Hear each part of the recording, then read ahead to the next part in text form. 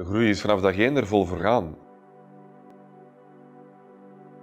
Binst Architects is een eh, bureau met een historiek van 45 jaar.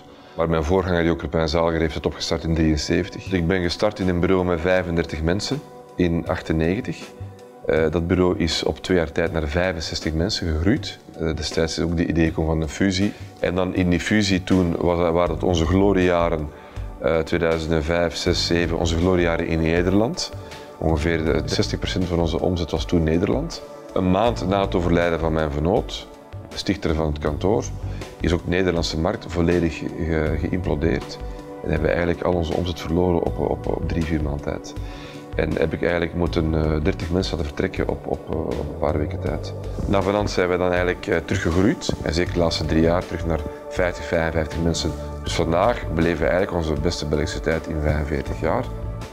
Het kan heel snel keren. Dat heb ik eigenlijk vroeger geleerd. Op één maand tijd. Als morgen de rentevoeten fundamenteel naar omhoog gaan en het vastgoed wordt aangedraaid in België, dan gaan wij binnen de maand, schat ik, 30 tot 50 procent van onze omzet gaan bevriezen. En dat heeft uiteraard een ongelooflijke repercussie op onze mensen. Wij werken echt op vlak van vertrouwen en commitment en de dossiers die we samen behartigen. Maar als er morgen in die dossiers de standstill is, dan gaan we heel snel ook moeten andere uh, afspraken moeten maken. En dat is, dat is een economische realiteit en dat is een zakelijke realiteit die elke dag die je moet meenemen.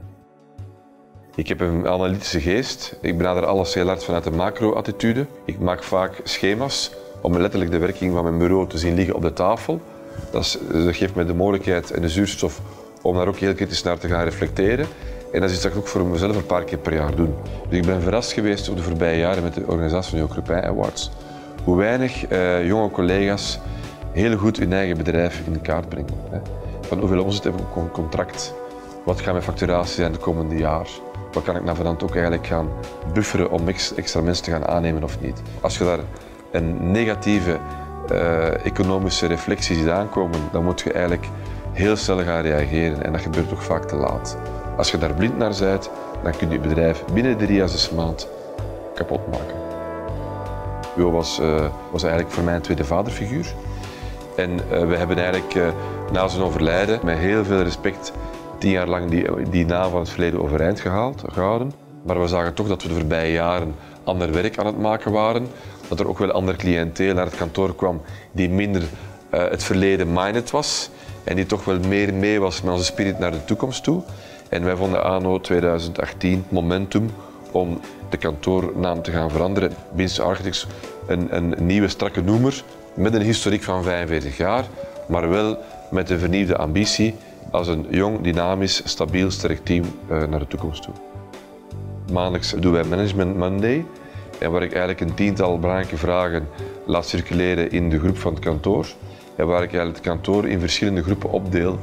En waar we eigenlijk zeggen, voilà, nu gaan een keer de overheidmensen, de seniors, een keer de jeugd, een keer over die vragen gaan nadenken.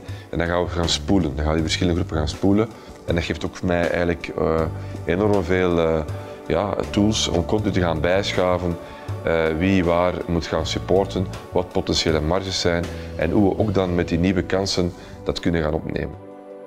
De tijd was daar, met ook de positieve opbouw voorbij drie, vier jaar, om ook wat te investeren in een aantal zijtakken, waaronder Be Seen, is onze galerijruimte, Room for Art, die we hebben uh, opgestart hier eigenlijk op de hoek van de straat. Onze B-brand is een nieuwe designlabel, waar we eigenlijk design, uh, meubilair en high-end interieurafwerking als een abstract nieuw label willen gaan promoten in de markt. En dan ten derde, B7 is een beetje vooral een soort van meet-and-greet uh, initiatief. We willen echt Luikstraat 7 beschouwen als een zeer toegankelijk, uh, laagdrempelig adres. En waar we echt samenwerking, crossover op verschillende disciplines naar de toekomst toe willen aftasten.